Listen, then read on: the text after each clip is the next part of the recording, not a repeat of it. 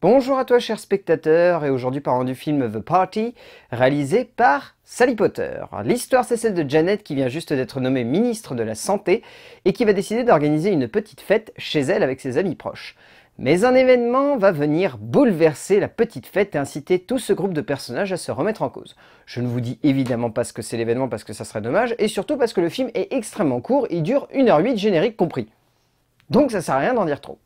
Sally Potter, elle prend son temps pour faire ses films. Ça va faire plus de 30 ans que cette cinéaste anglaise fait du, cinéma et elle prend son temps. Elle a 8 films à son actif sur 30 ans de carrière. Donc, quand elle fait un long métrage, elle choisit de poser quelque chose, d'avoir une idée et de la développer. The Party est un vaudeville complètement loufoque et jouissivement cynique. C'est le genre de long métrage sur lequel on ressort avec une énorme banane parce qu'on sent qu'une auteure a réussi à partager quelque chose de vraiment divertissant et qui sort un petit peu de l'ordinaire de par un style ou un geste cinématographique qui étonne et qui nous entraîne. Clairement, Sally Potter vient de livrer ce genre de long métrage. C'est jouissif à souhait. On prend son pied devant son métrage. Ok, c'est un peu limité, mais en même temps, voilà, c'est un film de 1h08 sans grande prétention et ça a une gueule de vaudeville, donc c'est assez limité, c'est un huis clos. Mais il y a un esprit, il y a quelque chose d'espiègle qui se dégage de son métrage, il y a quelque chose qui tout simplement ben, nous embarque, nous embarque dans un délire qu'on accepte assez rapidement. En termes d'écriture, Sally Potter, elle a surtout misé sur un groupe de personnages. Donc qu'est-ce qu'elle fait? Elle construit des caractères de personnages vraiment jouissifs. Tous les personnages de cette petite scène qui va se dérouler devant nous sont absolument jouissifs. Vraiment. La scène se passe quasiment en temps réel en plus, et le développement de chacun de ces personnages est amené avec une élégance folle. Et chacun va regarder le développement de cette situation avec un regard totalement différent de l'autre. C'est vraiment jubilatoire comme séquence. Il y a un espèce de... une envie de nous embarquer dans un trip où ça va être vraiment les personnages qui vont transmettre quelque chose au spectateur. Ça va pas être les thématiques abordées, ça va pas être le développement de la situation, ça va pas être les retournements, ça va pas être le développement du long métrage, ça va être ces personnages. Ces personnages vont donner vie à cette scène, vont donner vie à cette séquence, vont donner vie à cet instant de cinéma qui arrive en seulement quelques instants à nous embarquer et à nous entraîner. Et je vous dis pas, mais Sally Potter a réussi à trouver des retournements de situation qui sont excellents.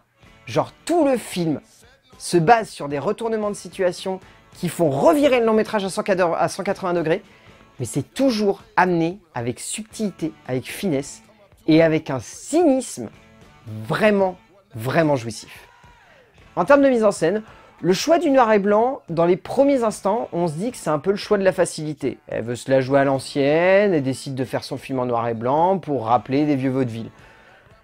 Ça va au-delà de ça, heureusement, parce que quand elle développe son film, au fur et à mesure, la photographie gagne en force. Et en fait, plus le long métrage passe en nuit, puisque le long métrage est en temps réel, donc on est en fin de journée, plus le long métrage passe en nuit, plus la photographie gagne en force.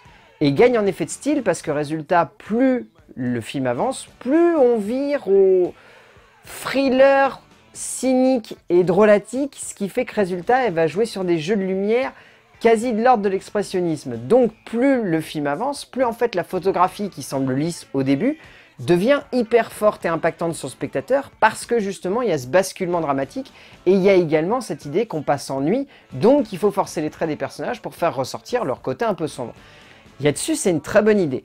Après, ce qu'on pourra reprocher à Sally Potter, c'est d'avoir tendance justement à trop reposer son film sur son écriture et donc derrière à pas forcément développer une mise en scène hyper impactante. Il y a quelques plans qu'on garde vraiment en tête. Je pense au plan où on voit euh, le personnage de Cillian Murphy en train de sniffer des énormes rails de coke sur le bord de la baignoire. Là, ces plans-là sont vraiment très très bien foutus.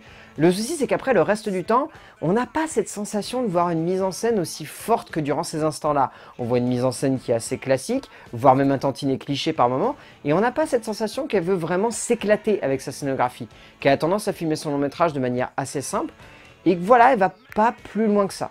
C'est un petit peu dommage parce que quand on voyait son précédent long métrage, on pouvait se dire que voilà, elle cherchait des choses, elle cherchait à donner de l'ampleur, de la vigueur, de l'intensité à sa scénographie. Là, résultat, vu qu'elle s'enferme dans un huis clos, elle n'a pas envie d'aller plus loin. Elle se à quelque chose de simple, de concis, voilà, elle enferme son petit long métrage dans une boîte et c'est tout. C'est un petit peu décevant, parce qu'on se dit qu'elle aurait pu vraiment mener son film plus loin en termes de scénographie et renforcer le côté comique par le biais de la mise en scène. Cela n'empêche qu'elle se repose sur un casting 5 étoiles. Je connaissais les deux acteurs principaux, Christine Scott Thomas et Timothy Spall, mais foutre en plus Patricia Clarkson, Bruno Gantz, Emily Mortimer, Cherry Jones et Cillian Murphy, c'est génial. Elle a un casting en or, elle peut se reposer sur ses acteurs pour donner du caractère à ses personnages. Ils sont tous superbes. J'ai une petite préférence pour Cillian Murphy, mais ça c'est personnel, mais il est vraiment bon et Bruno Gantz c'est un personnage jubilatoire. Mais tout le monde est excellent dans ce long métrage. Et encore une fois, je vous le dis, le retournement de situation de fin, c'est de la crème. Au final, The Party, c'est clairement un film qui est drôle, c'est un film qui est fun, c'est un film qui est enjoué, c'est un film qui est délirant, c'est un film qui est un tantinet allumé, et ça prend, la sauce prend vraiment. Après, on regrettera que Sally Potter s'engage pas un petit peu plus en termes de mise en scène, mais clairement, The Party de Sally Potter, si vous avez l'occasion de le voir en salle, il n'est pas bien distribué, mais si vous avez l'occasion, allez-y. C'est fun, c'est enjoué, et c'est clairement un bon trip de cinéma. A plus